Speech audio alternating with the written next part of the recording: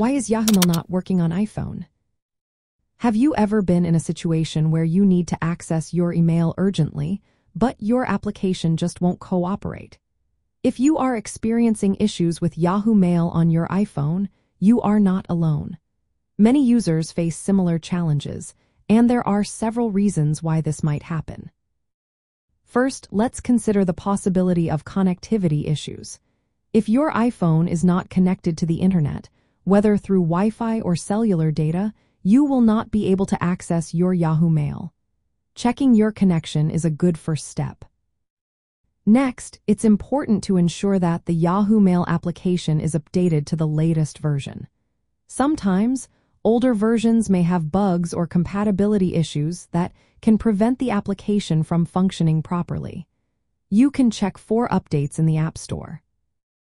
Another factor to consider is the settings on your iPhone.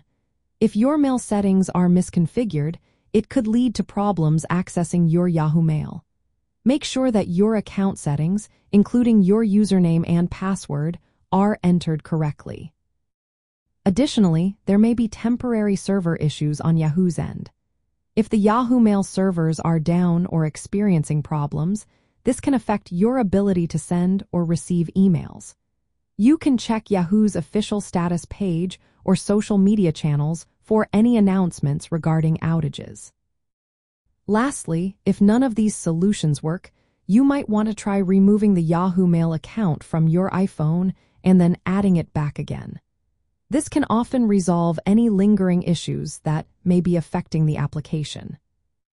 By considering these factors, you can troubleshoot and hopefully resolve the issues you are facing with Yahoo Mail on your iPhone. Remember, technology can be unpredictable, but with a little patience and the right steps, you can get back to managing your emails efficiently.